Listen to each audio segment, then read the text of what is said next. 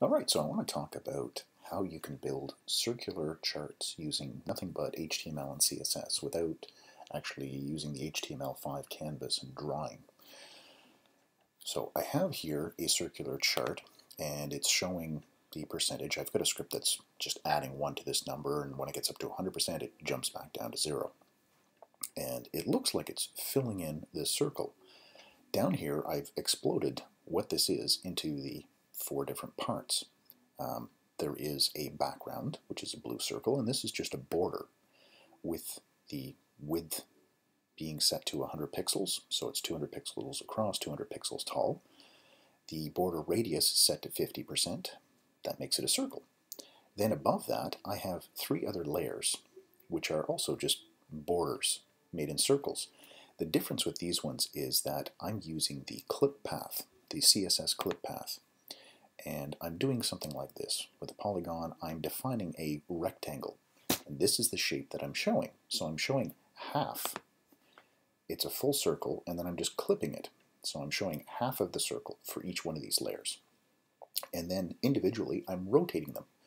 And I'm also changing the z-index to change which ones are on top. So I'm coming up to 0% here, so we can see that these will change in just a moment. There we go. So when we were at the 0 to 50%, over on the left-hand side here, I have the gray one, the faded out one, and then the blue one. The blue one is underneath the gray one. The gray one is on top, so it's masking this. And then this one is over here rotating around, and it's going underneath the other gray one.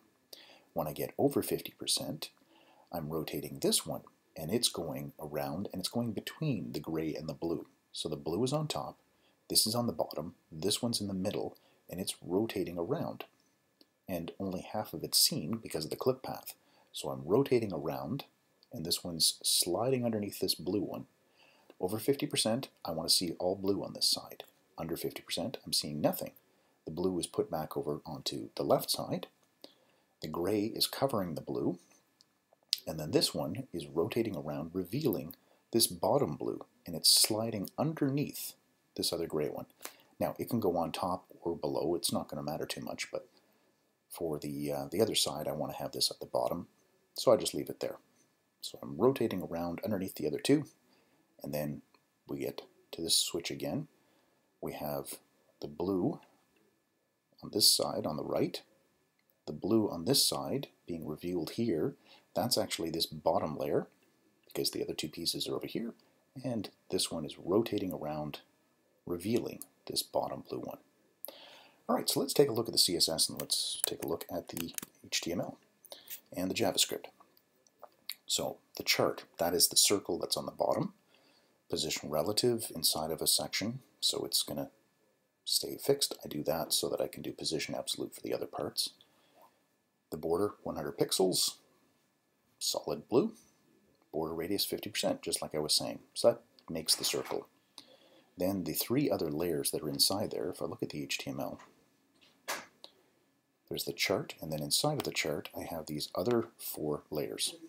The bottom one, info, this just shows the number, and it's going to sit on top of the other ones. These three are all basically the same, the only difference is the color that I'm using, really. So there's the chart. Here's the under 50%. I just use these names. The names aren't important. So under 50%, over 50%. These are my two gray ones. And I'm using uh, RGBA so that I'm revealing part of the color below. So this is a, a light, light gray with 80% opacity. So the, uh, or 80% alpha rather. This will reveal some of the color underneath, which is my blue, and that's why it's kind of a light gray but with a blue tint to it. Width and height, 160. I'm making these, um, the inner content is going to be 160, so it's going to reveal 20 pixels on the top, left, bottom, and right. And then I do the 100 pixels to position it over top of the chart. So same thing here for the other one. Same width and height, same color, border radius, same positioning. Um, the difference is when I'm starting off, I'm just rotating one 180 degrees. That's Um, counterclockwise 180 degrees. This one's sitting where it normally would. And then here's the fill, which is the blue one. But same sort of dimensions. The difference between these is just the z-index. And I'm going to be manipulating that in the script, 10, 30, 20. So just change which one's on top, which one's in the middle, which one's on the bottom. The clip path, we need to do the WebKit in front of this because not all the browsers currently support the clip path property. Um, Firefox and Chrome both, this works without the WebKit one.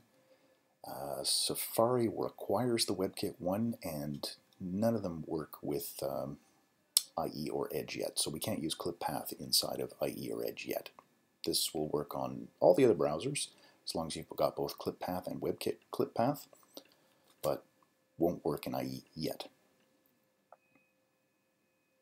Uh, the transform rotate is what we're going to be controlling in the script. So let's take a look at that. Down inside here, and this script you don't have to rapidly type as I'm doing this. I will uh, leave it as a comment in the in the uh, notes below. Uh, I'll put the link to the code gist that will have all this code that you can experiment with, change the colors, change the sizes, and so on. When the page loads, I'm calling my do rotation functions. That's going to set the initial value. I'm going to get this number here out of it, out of the div info. This will be converted to a number, and then I will turn that into a percentage of how much I want to rotate those different pieces. So this will, this will be treated like it's a percentage. I'm then using set interval to call do rotations again and again. I'm doing it every half second I'm adding one to the number. That's all that I'm doing inside here. I'm going into the info div, getting its text content, adding one to it, checking if it's greater than 100. If it is, set it back to zero. If not, leave it at whatever number it is. Overwrite the text content inside the info with the new number, and then call do rotations. And this is where all the work is done inside of do rotations. The code down here at the bottom, this is just the extra stuff that I'm doing to copy the properties from the circular one. This one down here, these are the alternate ones, so I've just exploded the view so you can see what's going on. All right, inside of here, we're checking to see if the percentage is greater than 50 or less than 50. And the reason I had to break it up there is because I'm going to be changing the z-index of the various pieces. So I'm finding, targeting those three pieces that are going to be rotating. I'm taking the number from the HTML, converting it into an integer. Then I'm taking that number and subtracting 50 from it, multiplying that times 360 divided by 100. So basically, I'm, I'm turning this number, which will be a number between 0 and 100, and I'm turning that into a percentage of 360 degrees.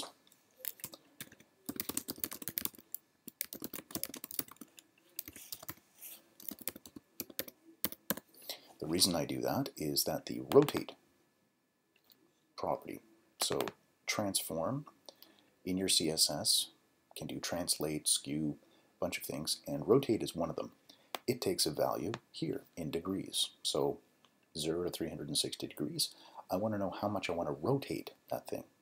I'm never going more than 180 degrees because I'm doing my calculations on 0 to 50 and then 50 to 100. But if we take that number, let's say it was 25.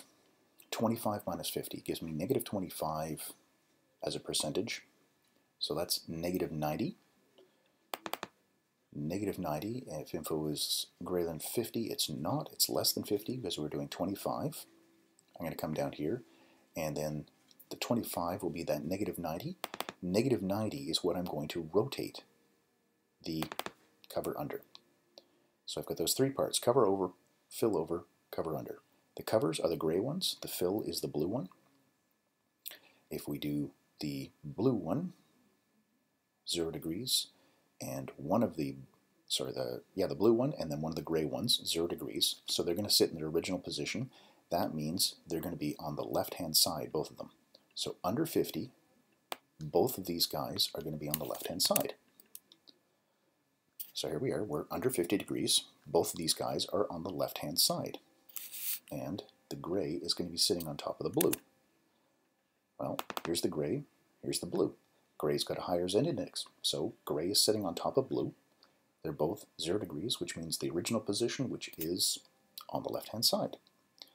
Then we're rotating the other one, the cover, the cover under, which is the other gray piece, and it's going to rotate to reveal some of the blue that's on the bottom using this percentage that we calculated. Once we're over 50, then we want to change the order. We want to bring both the blue and one of the grays over to the right hand side. So we're going to rotate them 180 degrees. That'll put them both on the right hand side. And we want to have the blue one on top. That's the fill. So right here, fill, it's got a higher Z index. It's going to represent the first 50%. So the first 50% is going to show as blue all the time. And these first four lines, they're really only doing something when we get to that 50%. It does this, and then it doesn't have to move them anymore. So it will always be setting them to this same thing. The only thing that's going to be different is that extra gray piece, which is going to rotate to reveal the percentage between 50 and 100%. This will reveal that as a percentage. So we're going to slowly rotate the other gray piece. And that's it. That's all we're doing. So there we are. It's rotating this middle one over 50, 50 to 100, and then it switches so that we have the gray on top of the blue, and this gray is rotating below them to reveal the background. We're going to get up to 50, and then it's going to switch again. Just have to wait a few seconds for it to get there. These guys are going to switch over to the right-hand side, we're going to have the blue on top to show the 50% at all times. There we are. Blue on top of this gray, showing the 50%. And then this one's rotating, and it's sliding around underneath this blue one right here. So it's all just an illusion as to what it's doing. But here it is working in Safari. Here it is working in Firefox. Here it is working in Brave, which also uses the WebKit engine. And back to Chrome. All right, so have some fun with that. Thanks for watching.